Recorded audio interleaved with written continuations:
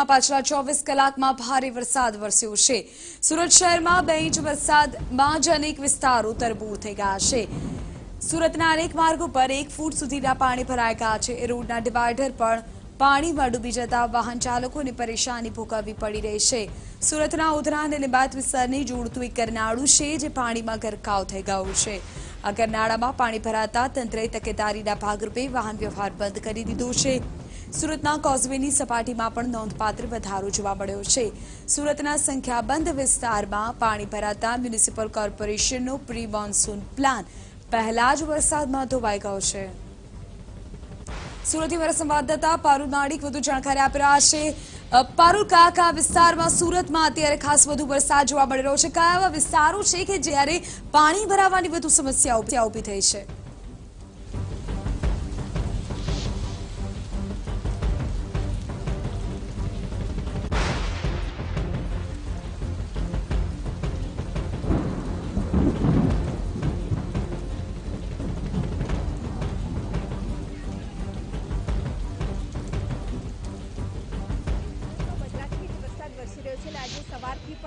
sih kayak અનરાધાર વરસાદ સુરત શહેર અને જિલ્લામાં વરસી રહ્યો છે. તમે જોઈ શકો છો, આ જે દ્રશ્યો તમે જોઈ રહ્યા છો ઉધના અને લિંબાયતને જોડતા ગરનાળાનો છે. દર વર્ષે આ જ પ્રકારની સ્થિતિ જોવા મળે છે. નજીવા વરસાદમાં પણ અહીં જે છે એ પાણી ભરાઈ જવા પામે છે. તમે જોઈ શકો છો કે મધરાતથી જે વરસાદ વરસી રહ્યો છે અને આજે સવારથી પણ જે અવિરત વરસાદ વરસ્યો છે, તેના કારણે ઉધના લિંબાયતને જોડતું જે ગરનાળું છે, તેમાં ઘૂંટણસમા, કમરસમા સુધીના પાણી અત્યારે જોવા મળી રહ્યા છે.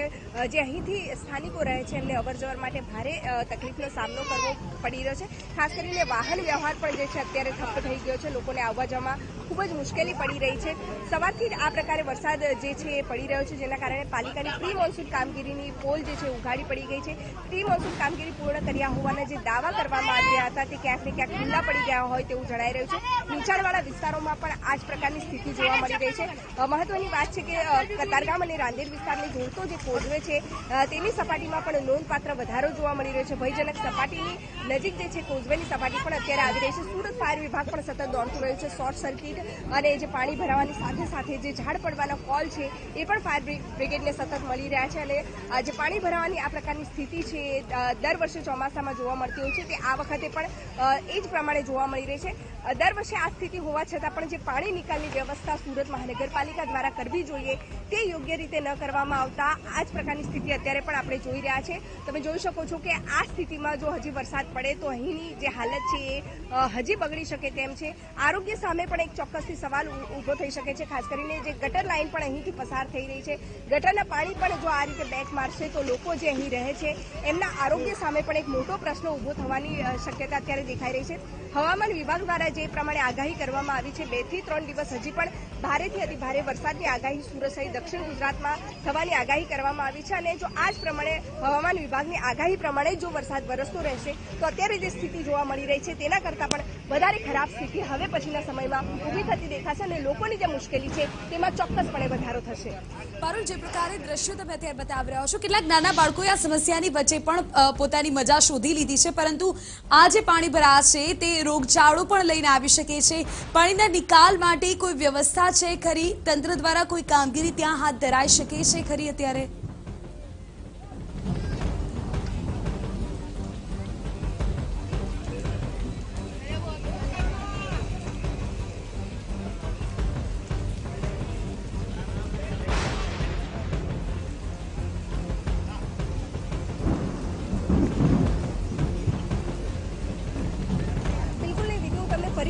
ફરીથી બતાવવામાં આવ્યું છે કે અહીં જે સ્થાનિક વિસ્તારમાં રહેતા લોકો છે એના બાળકો જે છે, તમે કહી શકો છો કે વરસાદની અત્યારે મજા માણી રહ્યા છે, પરંતુ આ મજા ક્યારેક સજાના ભાગરૂપે પણ સાબિત થઈ શકે છે, કારણ કે આપણે સુરતમાં અગાઉ પણ જોયા છે કે ખુલ્લા ગટરના ઢાંકણામાં આવી રીતે જે બાળકો મસ્તી કરતા જતા હોય છે અથવા તો જે રાહદારીઓ પણ ચાલતા જતા હોય છે, એ ઢાંકણા ખુલ્લા અમુક વાર ખુલ્લા હોવાના કારણે તેમાં પડી પણ જતા હોય છે અને એમના જીવ સામે પણ જોખમ ઊભું થતું હોય છે. તો ચોક્કસથી આ જે વિદ્યાર્થી જે આ બાળકો અત્યારે મજા લઈ રહ્યા છે, એ નુકસાનકારક પણ કહી શકાય જોખમકારક પણ કહી શકાય. એક રીતે નાના નાના બાળકો અત્યારે જે કહી શકાય કે પાણીમાં મજા લઈ રહ્યા છે. બીજી મહત્વની વાત એ છે કે દર વર્ષે આ જ પ્રકારની સ્થિતિ હોય છે. તમે જોઈ શકો છો કે અત્યારે આ પ્રકારના ગરનાળામાં પાણી ભરાયા છે. છતાં પણ સુરત મહાનગરપાલિકાનો કોઈ પણ અધિકારી, કોઈ પણ જે કર્મચારી કહી શકાય કે આ પાણી નિકાલની વ્યવસ્થા માટે હજી સુધી આવ્યા નથી. ને સતત સવારથી જે સુરત શહેર, જિલ્લા અને તાલુકામાં લગભગ સાડા ચારથી પાંચ ઇંચ જેટલો વરસાદ વરસી રહ્યો છે. તેમજ આ પ્રકારની સ્થિતિ છે. હજી જો વરસાદ પડશે તો આનાથી વધારે ખરાબ સ્થિતિ થઈ શકે છે. હજી તસવીરોમાં પણ તમે જોઈ શકો છો જે પાણી ભરાશે તેના કારણે વાહન ચાલકો પરેશાન થઈ ગયા છે. આપને જણાવી કે ઉધના અને લિંબાયતની જોડતું એક ગરનાળું છે કે જ્યાં અત્યારે પાણી ભરાઈ ગયા છે. તો કેટલાક જે વિસ્તારો છે કે જ્યાંથી દિવસ દરમિયાન ભારે વાહનો પસાર થતા હોય છે, એ તમામ સ્થળો પર અત્યારે પાણી ભરાઈ જવાને કારણે લોકો હેરાન પરેશાન થઈ ગયા છે. સુરતમાં સતત મેઘમહેર થઈ રહી છે અને આ મેઘમહેરની વચ્ચે પાણી ભરાઈ જવાની સમસ્યા અત્યારે ઊભી થઈ રહી છે.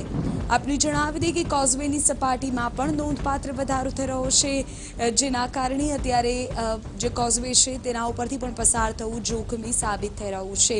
જે ગરનાળું છે, જ્યાં અત્યારે પાણી ભરાઈ ગયા છે, ત્યાં વસતા સ્થાનિકો અને નાના બાળકો અત્યારે એ પાણીમાં પણ નાહવાની મજા લઈ રહ્યા છે, પરંતુ આ પાણીનો નિકાલ ન થતાં તે રોગચાળાને પણ નોતરું આપી શકે છે. ત્યારે અત્યારે જે જાણકારી મળી રહી છે તે અનુસાર આ પાણીના નિકાલની વ્યવસ્થા ક્યારે થશે તે સવાલ અત્યારે સ્થાનિકો પણ કરી રહ્યા છે. સુરતના અનેક વિસ્તારો એવા છે કે જે પાણીમાં ગરકાવ થઈ ગયા છે.